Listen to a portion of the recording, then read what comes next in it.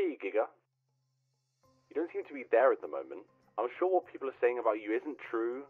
Just maybe just a little bit.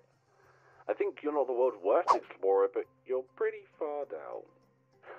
I don't think it helps that on your last adventure you battle pirates and sea creatures just for the treasure tree chocolate golden coins.